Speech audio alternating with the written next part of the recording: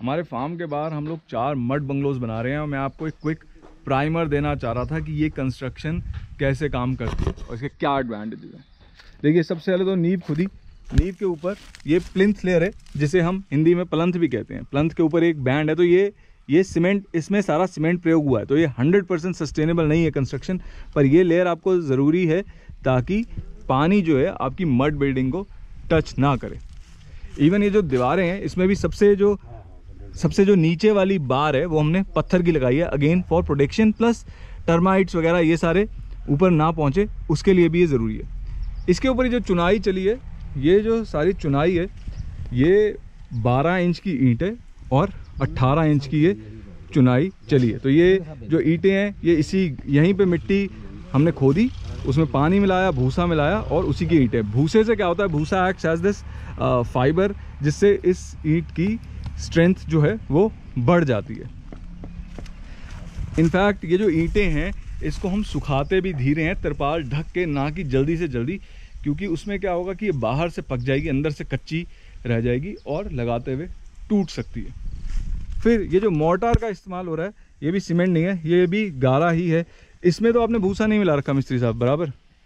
संजय बोला बालियाँ ना करिए। बाली ने मना किया? ठीक है इसमें गारे में भूसा नहीं है गोबर? गोबर तो सिर्फ़ आप प्लस्तर करते हुए मिलाओगे बराबर? हाँ।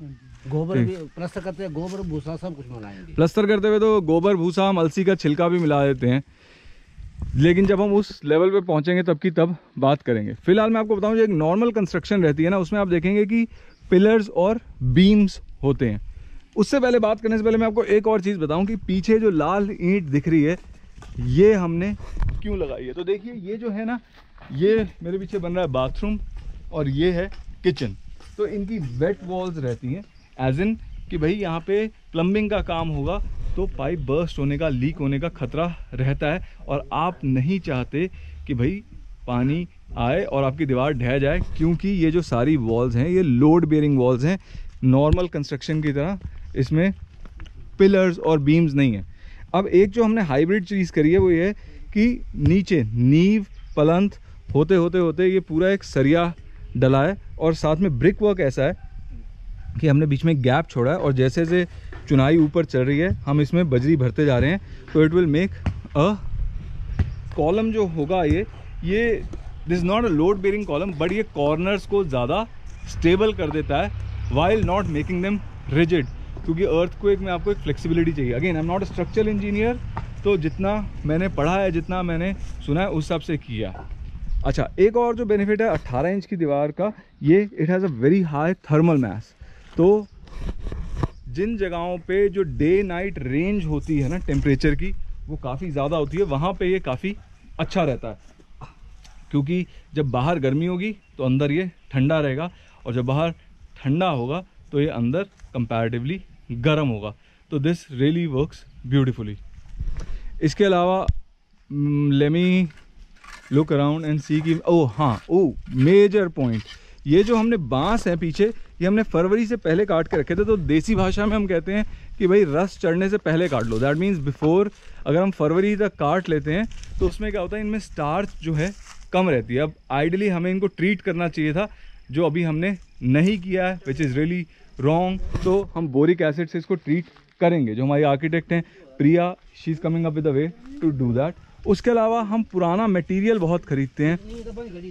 ये आप देखेंगे ये जो खिड़की है किसी पुराने मकान की ये जो है यहाँ किचन में इस्तेमाल हो जाएगी।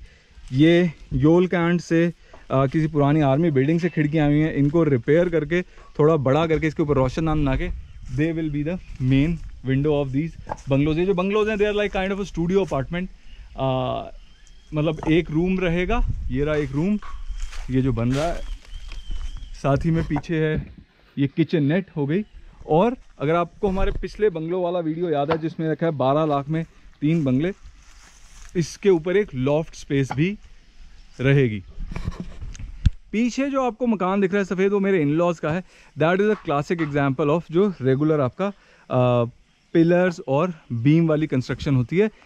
उसमें दीवारें लोड बेरिंग नहीं रहती ज़्यादातर आई थिंक बिल्कुल ही नहीं रहती। इसमें जो उसमें दीवारें जो हैं सिर्फ़ एक पर्दे का काम करती हैं। And I think that's essentially it जैसे जैसे और कंस्ट्रक्शन बढ़ेगी, मैं आपको आगे आगे अपडेट करता रहूँगा। Thank you GoPro stop recording